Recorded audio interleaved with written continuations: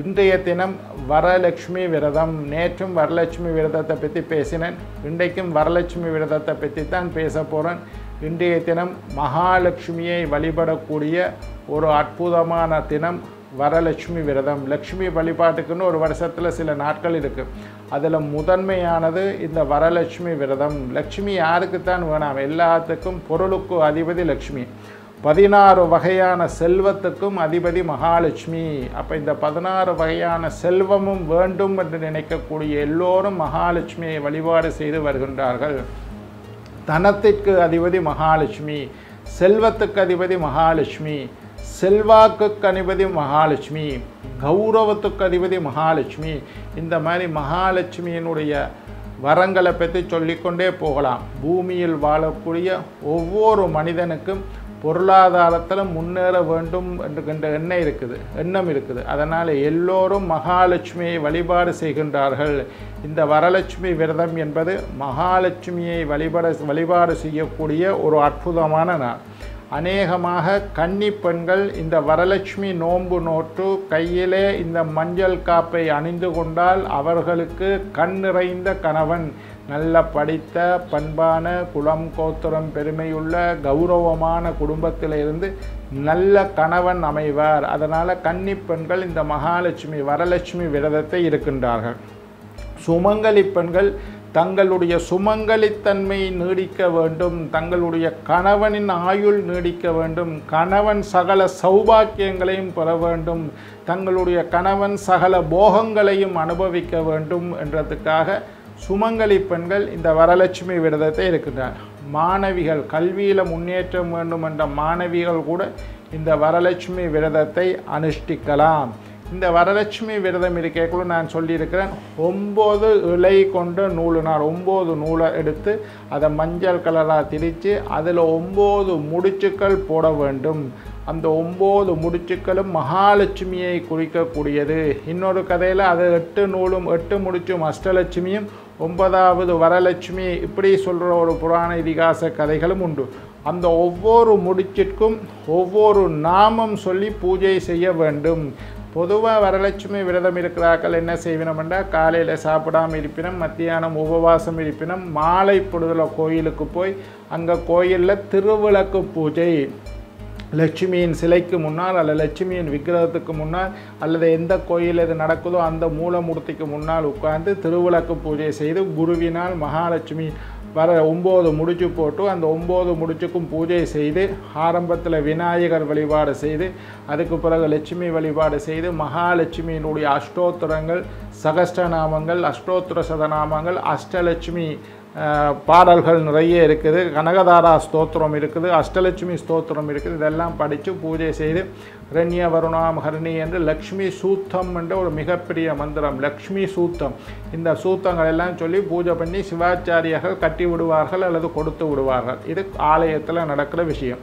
மாலை பொழுது காலையிலையும் சில ஆலயங்களில் நடக்கிற வளமை இருக்குது அது தவறுன்னு நான் சொல்ல வரலை. ஆனால் மாலை பொழுது தீபம் ஏற்றி மகாலட்சுமியை வழிபடுவது மாலை பொழுது சிறந்தது. காலையிலேருந்து உபவாசமாக இருந்து மாலை பொழுதில் இந்த காப்பை கட்டி பலகாரத்தை பலகாரத்தை உண்டு விரதத்தை முடித்து கொள்ளலாம்.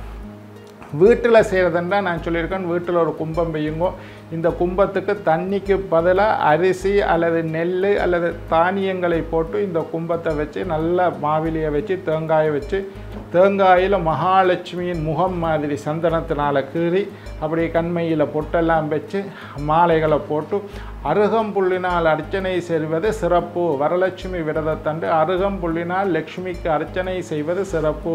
எனவே அருகம்புல்லினால் அர்ச்சனை செய்து வீட்டில் உங்களுக்கு தெரிஞ்ச லட்சுமியினுடைய மந்திரங்களை சொல்லுங்கோ.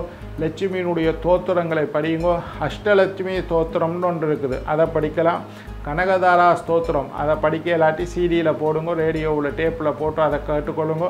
லட்சுமியினுடைய நாமங்கள் நிறைய லட்சுமியினுடைய நூற்றி எட்டு நாமங்கள் தமிழ்லேயே இருக்குது. அந்த மகாலட்சுமியை போற்றி அந்த மாதிரி தமிழில் உள்ள நாமங்களை எல்லாம் படித்து ஒம்பது இலை போட்ட நூல் அதாவது ஒம்பது முடிச்சு போட்ட நூலை கும்பத்தில் வச்சு அதற்கு மஞ்சள் குங்குமம் எல்லாம் சாத்தி பூஜைகள் செஞ்சு அந்த பூஜையில் இந்த மந்திரம் ஒம்பது முடிச்சுக்கும் ஒம்பது மந்திரம் இருக்குது.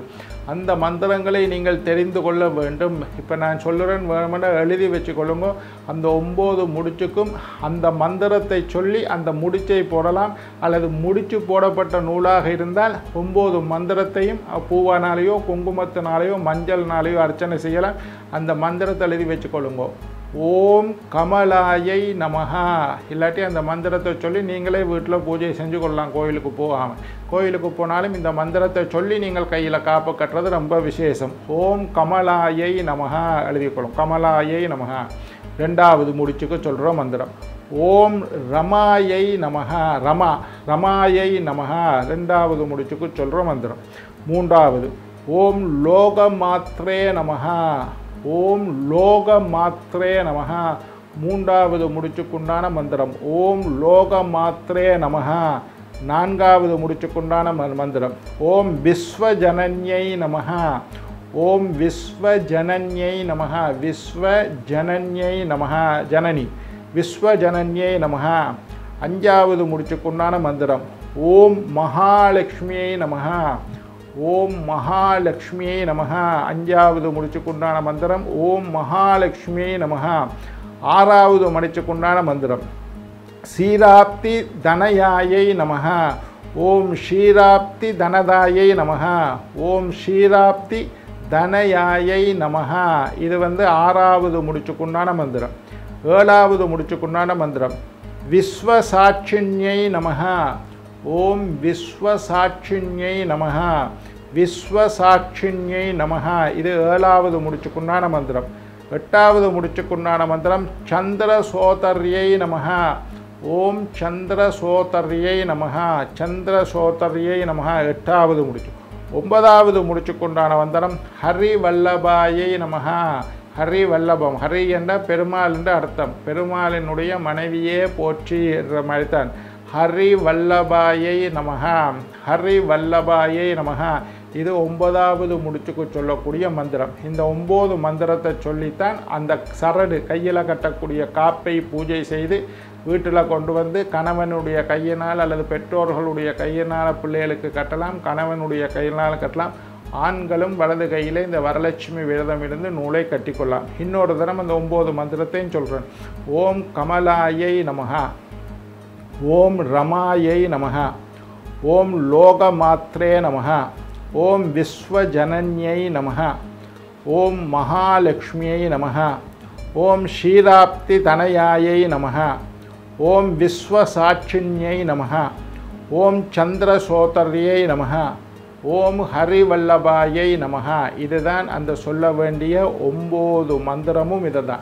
இன்றைக்கு ஒரு முறை கனகதாரா ஸ்தோத்திரம். மகாலட்சுமியினுடைய அருளை பரிபூர்ணமாக தரக்கூடிய மந்திரம் கனகதாரா ஸ்தோத்திரம். இது ஒவ்வொரு வெள்ளிக்கிழமையிலையும் உங்களுடைய வீட்டில் டேப்லேயோ சிடி பிளேயர்லேயோ அல்லது ப்ளூடூத்துலேயோ அல்லது உங்களோட ஃபோன்லேயோ ஒளிர விட்டு கேட்பது அதை படிக்க விட்டு கேட்பது ரொம்ப விசேஷம். ஒவ்வொரு வெள்ளிக்கிழமையும் கனகதாரா ஸ்தோத்திரம் எழுதி வச்சுக்கொள்ளுங்க நீங்கள் நெட்டில் டவுன்லோட் பண்ணலாம் அல்லது கடைகளில் வாங்கலாம். கனகதாரா ஸ்தோத்திரம்.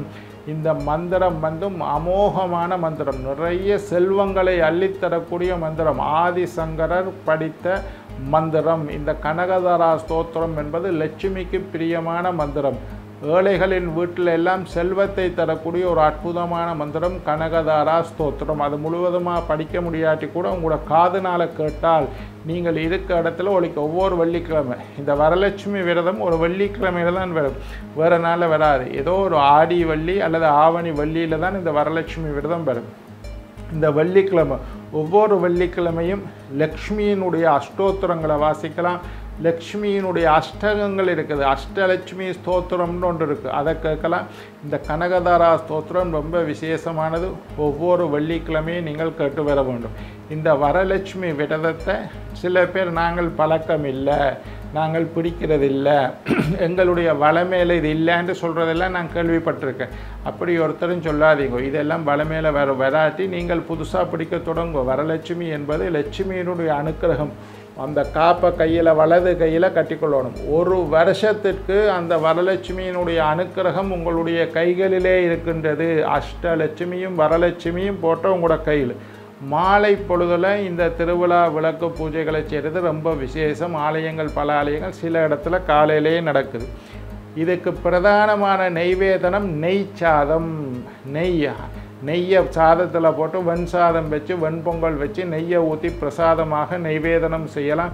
நெய்ச்சாதம் தான் விசேஷமான நெய்வேதனம் இந்த விரதத்தை ஒம்பது வருஷங்கள் தொடர்ந்து அனு- தொடர்ந்து அனுஷ்டானம் பண்ணி பிடிச்சி வந்து ஒம்பது வருஷத்துக்கு பிறகு பத்தாவது வருஷம் திரும்பி ஒருக்கா அனுப்பாட்டிட்டு திரும்பி ஒம்பது வருஷம். ஒவ்வொரு விரதத்துக்கும் இருக்குது கந்த சஷ்டியாக இருக்கட்டும் கௌரி காப்பாக இருக்கட்டும் இப்படி எல்லா விரதத்துக்கும் ஒரு ஒரு ஒரு ஒரு காலம் இருக்குது. அந்த அத்துணை வருடங்கள் தொடர்ந்து பிடித்து வர வேண்டும் என்பது இருக்குது இன்னொரு கேள்வி எல்லா பெண்களும் கேட்குற கேள்வி இது பெண்கள் செய்யக்கூடிய விரதம்னு சொல்கிறீங்களா ஐயா.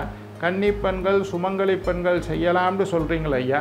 இந்த பெண்களுக்கு வரக்கூடிய இந்த மாதவிடாய் காலம் வந்துட்டதா இருந்தால் நாங்கள் என்ன செய்கிறது இந்த வரலட்சுமி விரதம் இருக்கக்கூடிய இந்த வெள்ளிக்கிழமையில் மாதவிடாய் வந்துட்டுது. எங்களுக்கு சுகமில்லாமல் காலம் வந்துட்டுது. ச- கோயிலுக்கு போகக்கூடாத நாட்கள் வந்துட்டுது. அப்போ எப்படி ஐயா இந்த நூலை கட்டலாம்டா? ஒன்றும் பய பயப்பட தேவையில்லை. சாஸ்திரங்களில் சொல்லப்பட்ட செய்தி என்னென்னா இந்த முறை இது வந்ததாக இருந்தால் நீங்கள் பயப்படாமல் அடுத்த வெள்ளிக்கிழமை இதை நீங்கள் செய்யலாம். அடுத்த வெள்ளிக்கிழமை எந்த பிரச்சனையும் இல்லை. இந்த வள்ளி இல்லாமல் ஒரு வள்ளியை விட்டு அடுத்த வெள்ளிக்கிழமை கைகளில் கட்டிக்கொள்ளலாம். நீங்கள் அனைவரும் நீண்ட ஆயுள் நிறைந்த ஆரோக்கியம் நீங்காத செல்வத்தோட வாழ வேண்டும் என்று வாழ்த்தி வணங்கி விடைபெறுவது உங்கள் ஜோதிட சித்தர் டாக்டர் ராஜராஜ குருக்கள்.